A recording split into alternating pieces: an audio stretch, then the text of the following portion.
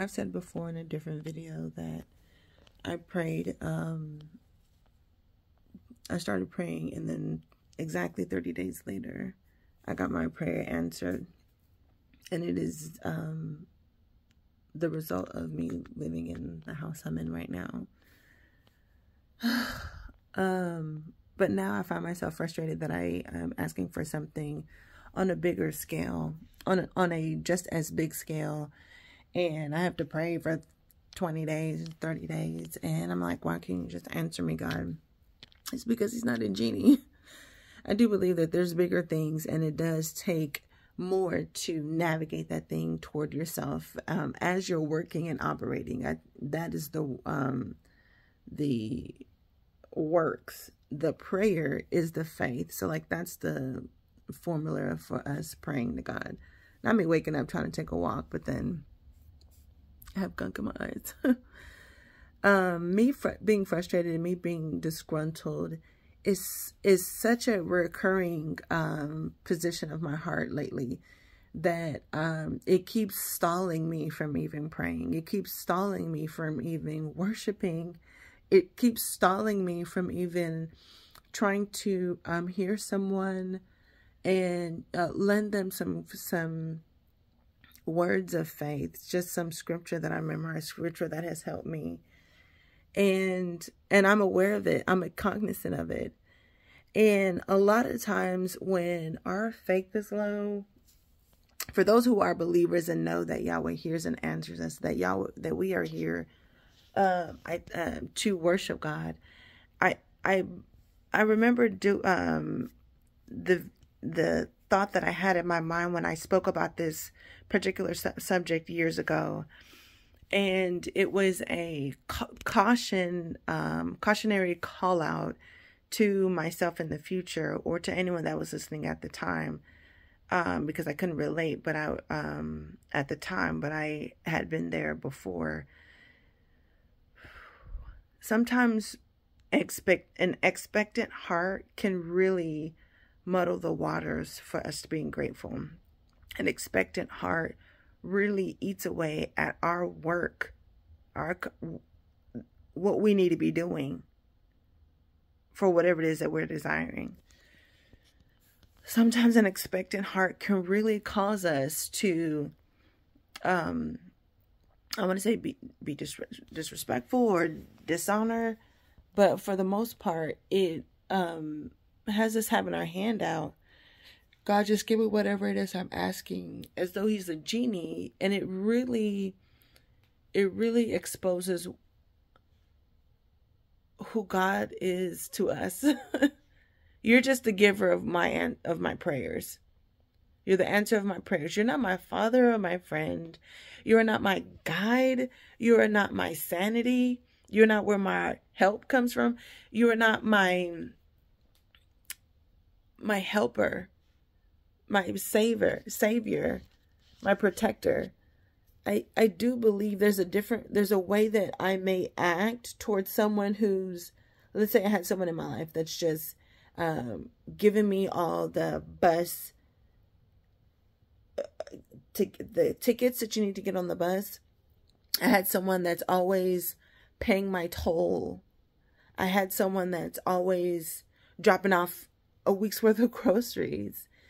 And then, um, as opposed to a person who's, who always comes by and they don't give me a thing tangibly, but they pray with me. They are always stopping in the moment and say, let's pray about it. And after they, after we pray about it, after I pray about it with that person, then that person, then I've finally feel as though I've given that situation over to God. I finally feel like that prayer point is in God's hands.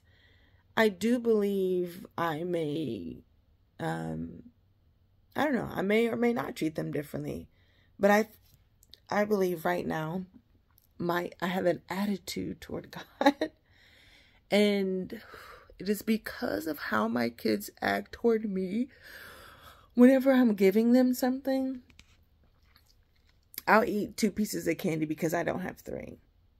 if I don't have enough for each of my kids, then they don't get it. Y'all just not getting those mini Snickers right now. But what is causing me to be so expectant, so like, if you don't do this, I'm laughing, but that's where my heart is. If you don't do this, this is it. I'm I'm done. I just like who am I? What has given me that um what has given me that let me pull an eyelash out. Audacity. What has given me that audacity to give God an ultimatum? God, if you don't do this, then I'm not gonna. You're not gonna what? You're not gonna do a, nothing for me like you wasn't doing before. I really need to do. I really need to change where my heart is, and I'm not sure. Um, I think maybe worship may do it, but I can't get into worship because I'm so concerned about what it is I'm praying about. If I can just let that go, I need to pay my bills. I've taken on a new car and I need to pay my bills. And I can no longer worship because I'm constantly worried about my payments.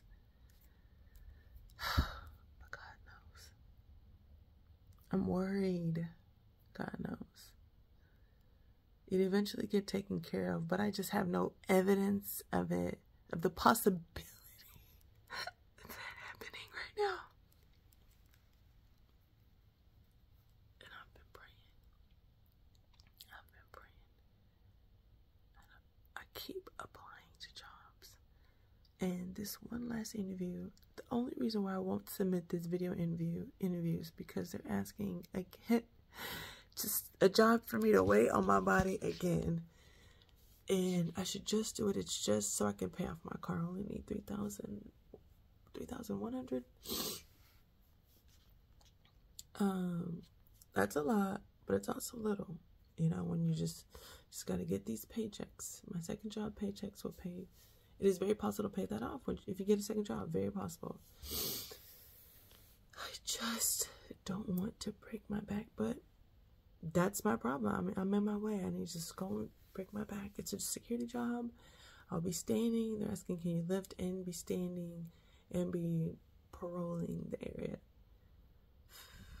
I better do it. I better do it. And I'm going to respond. I just wish that I had a way to make enough for two physically backpacking jobs at a job that could allow me to sit down and also be able to leave and be with my kids when they get off school. But you know what? I'm asking for too much. So um I'm gonna apply to that job. I'm gonna do the security job. It's just for a while. Just hope it's not little money. The less money, the longer I gotta be there, the harder it is. the longer it's gonna take to pay that three thousand one hundred off. But you know what? Just, just get over it.